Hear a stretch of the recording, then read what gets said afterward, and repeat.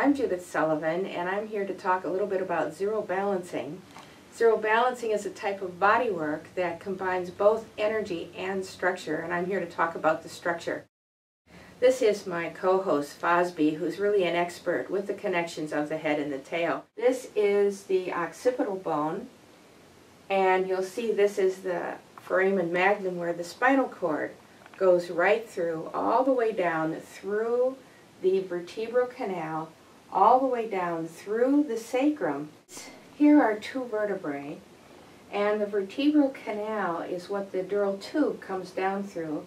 Here, here you see T11 and T12, and here I have T11 and T12, and then you can see the vertebral canal, and the tube comes down through there. Spinal cord itself stops at around T12, but the tube continues down through the rest of the lumbar vertebrae through the sacral hiatus. The other interesting part about the sacrum is those bones aren't completely fused until you're about 25 years old. It's about the same time that you know your brain is working right, that you have all the different parts of your brain. I find that very interesting. Then that tube comes down through the sacral hiatus, comes out right at the bottom and then forms the periosteum of your coccyx. So this tube, these membranes have a specific effect from the tailbone to inside your head. Here you have what's inside becomes what's outside. Any falls or any trauma that you've had to your tailbone can actually have an impact either in your pelvic cavity or all the way up to your head. So here we have the occipital bone, remember this bone right here, and then we have the sacrum, which is down at the base of the spine. And if you have a bad fall on your sacrum, you can tilt the sacrum, and because of the tube that connects the sacrum to the occiput, the occiput will also get torqued. Now what you have here is the sphenoid. Let's go back to this bone that goes across the head and its relationship to the occiput. It is sitting here.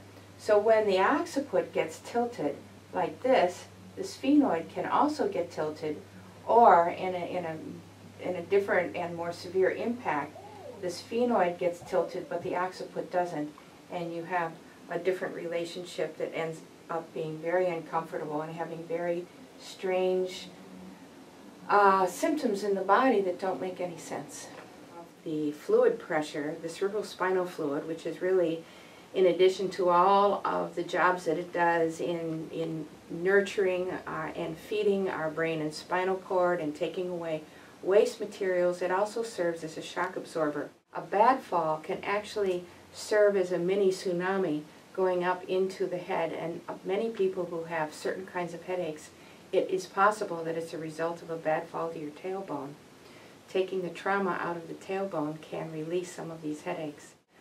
How to know if you might have a tailbone issue is just to touch your tailbone.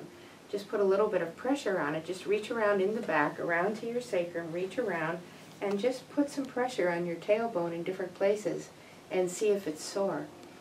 You won't find that it's sore necessarily in your daily life, in sitting or standing, but if you touch it, it'll be sore, and that means that you have you might have an old trauma there. It might be affecting um, some other issues in your body, or it may not. Thank you for watching, and I'd like to thank Fosby for her expertise in all of these matters and all of the time that she spends teaching me about herself and about her bones. Check out zerobalancing.com. That'll tell you a lot more about how we work with the bones and energy.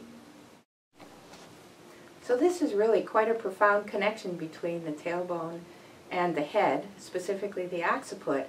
And in zero balancing, we pay attention to both ends of the string because they affect one another.